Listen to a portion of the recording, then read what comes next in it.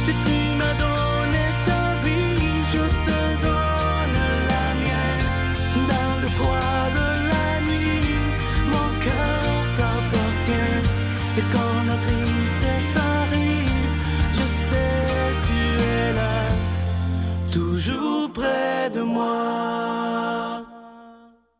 Bon vendredi, bienvenue à votre émission de Victoire d'amour. J'espère que vous allez bien ce matin, comme on le fait tous les vendredis. On rejoint notre amie, elle est médecin, elle est chirurgienne en ORL, la docteure Valérie Julie Brousseau, et l'homélie est faite par le frère Benjamin de Normandie, en France.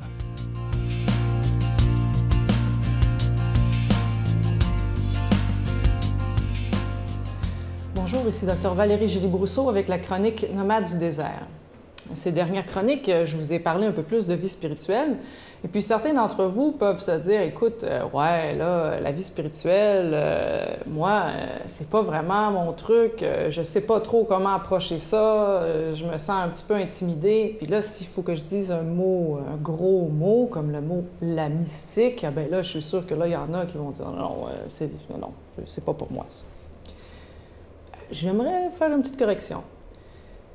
Ce qui est mystique ou ce qui est spirituel ne peut l'être que si c'est profondément humain.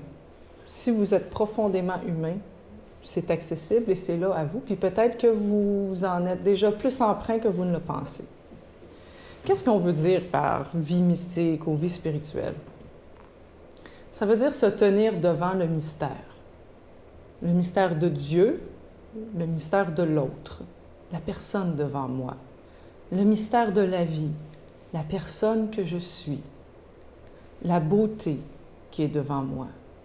Ça veut dire me tenir devant toute chose avec la conscience qu'il y a quelque chose de grand devant moi, une part que je peux voir, que je peux toucher, que je peux mesurer très humainement, très concrètement, scientifiquement même, mais qu'il y a une part qui est un don, que lui, je ne peux pas saisir, que je pressens, que je sais qui est là, que je voudrais rencontrer plus, mais qu'en fait, ne peux jamais complètement faire le tour. Et donc, même si ça fait 50 ans que je suis en vie religieuse, même si ça fait 50 ans que je suis mariée, même si, je sais pas, je suis un grand scientifique ou un médecin, peu importe ça devant quoi je me tiens, que ce soit une œuvre d'art, que ce soit euh, des mathématiques, que ce soit devant quelqu'un que j'aime, il y a quelque chose qui m'invite à une rencontre plus profonde. Et là, la question, c'est comment se disposer à ça et comment me tenir là? Le mystère de l'autre qui est devant moi, comme le mystère de Dieu, ce n'est pas quelque chose que je peux saisir. Ce n'est pas quelque chose que je peux comprendre avec mon intelligence et ce n'est pas quelque chose que je peux avoir fini de comprendre non plus.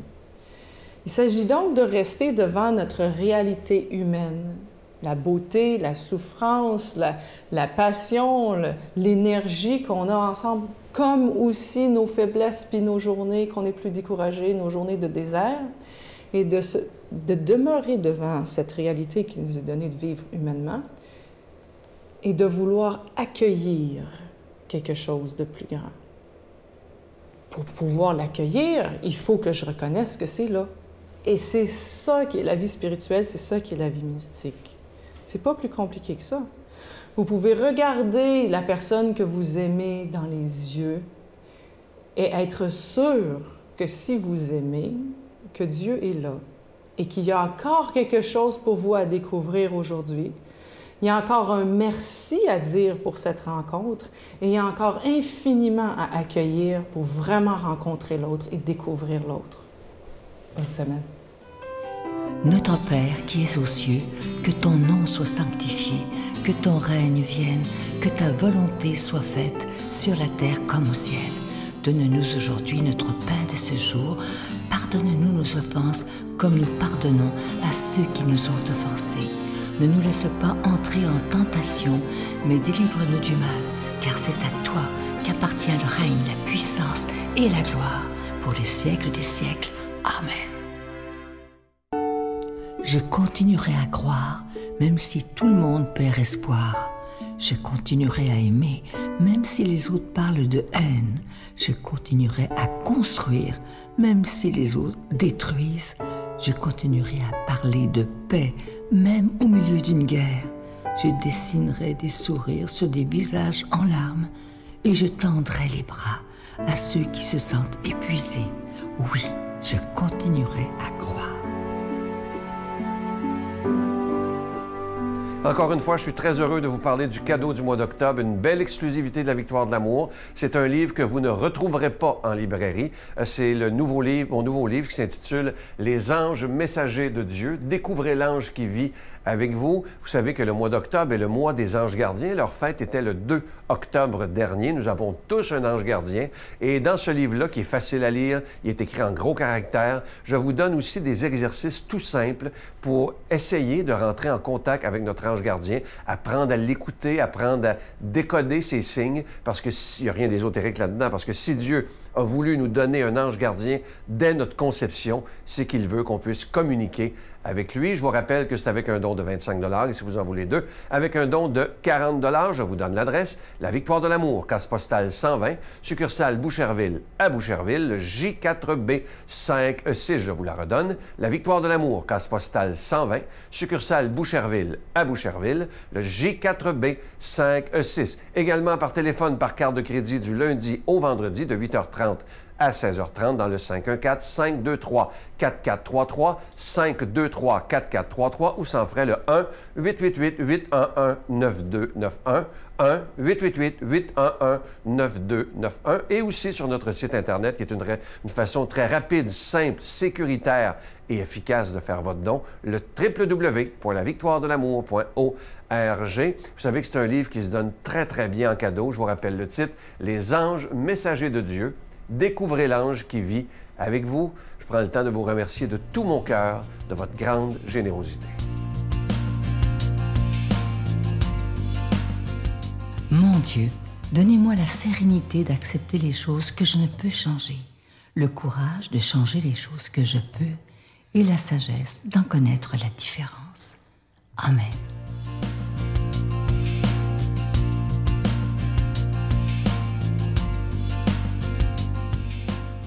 Évangile de Jésus-Christ selon Saint Luc. En ce temps-là, Jésus disait aux foules, Quand vous voyez un nuage monter au couchant, vous dites aussitôt qu'il va pleuvoir, et c'est ce qui arrive. Et quand vous voyez souffler le vent du sud, vous dites qu'il fera une chaleur torride, et cela arrive.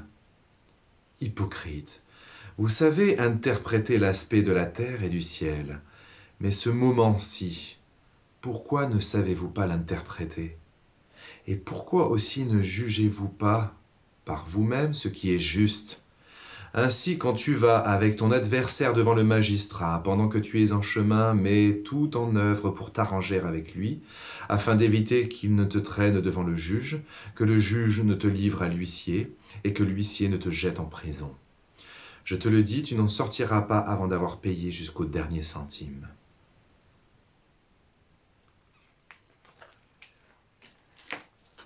Ah là là. Encore du sérieux. Encore du sérieux aujourd'hui. Hein. Euh, alors Jésus aujourd'hui s'adresse aux foules, pas aux disciples. Et euh, il vient faire cette, vive interpellation quand même qu'on doit vraiment recueillir, recevoir. Vous savez, c'est très important, je ne crois pas que ce soit la première fois que je, le dise, euh, mais de, toujours vraiment accueillir la parole de Dieu comme vraiment une parole qui m'est adressée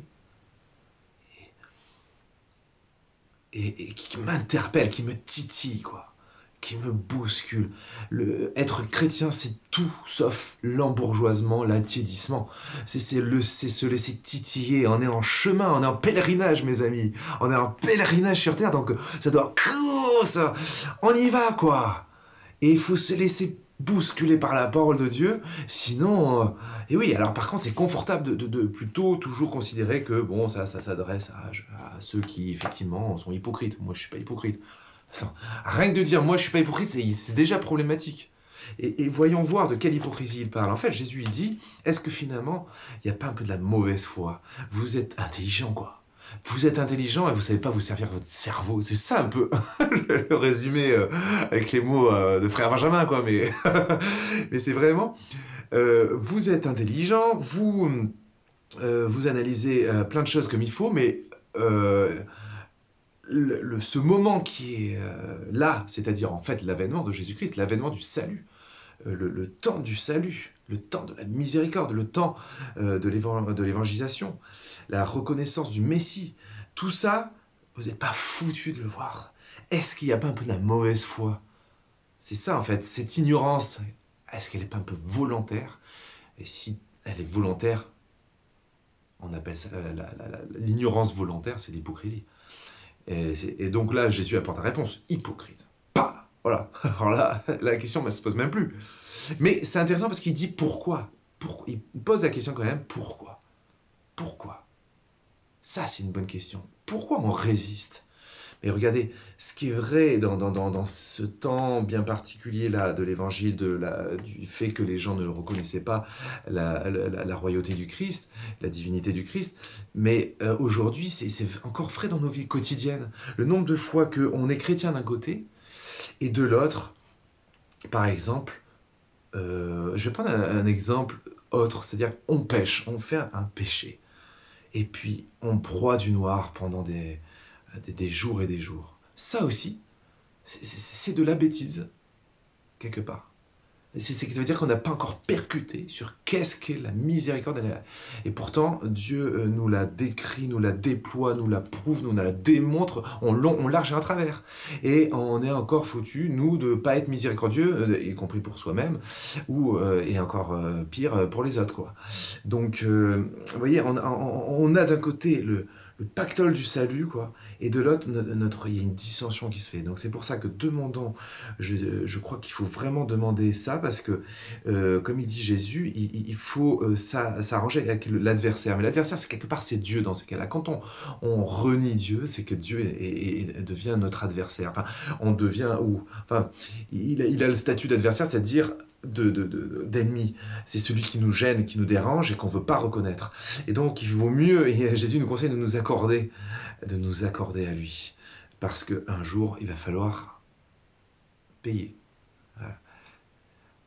Euh, et s'accorder à, Jésus, ça ne veut pas dire être parfait ou quoi. S'accorder avec Dieu, c'est, c'est plutôt, au contraire, reconnaître que il l'a payé.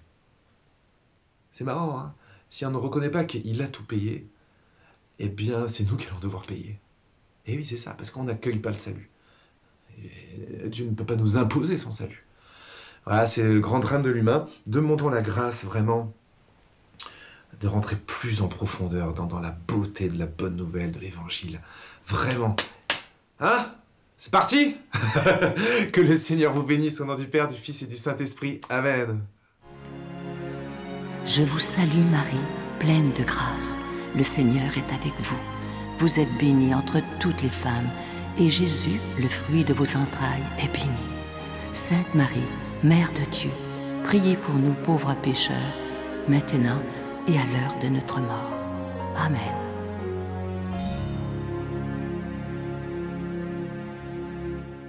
Je vous invite à ne pas manquer l'émission de dimanche. On passe toute la demi-heure avec Brigitte et moi. Alors, on a décidé de faire un peu le point sur ce qu'on vit présentement avec cette chère pandémie et on veut parler d'espérance. On veut prendre le temps de ne pas faire peur, au contraire, mais on va se parler d'espérance pendant une demi-heure. A une très, très belle chanson de notre ami Miguel, tel que je suis. Alors, ça va être des beaux moments qu'on va passer ensemble. On ne sera pas dans la peur, mais on sera, comme le Seigneur nous le demande, dans l'espérance. Je vais vous souhaiter une magnifique journée aujourd'hui et moi, j'ai déjà hâte de vous retrouver demain matin. Bye. on prie vraiment, on- pas juste pour nous, mais pour euh, grand-papa, grand-maman. On a des grands-parents euh, très malades. Euh, Il y en a d'autres qui vont bien, mais qui sont seuls. Euh, donc, oui, prier aussi pour nos voisins, euh, penser aux autres, penser à faire des gestes, sortir de nous, arrêter d'être dans la peur, faire des petits gestes qui font plaisir euh, aux autres.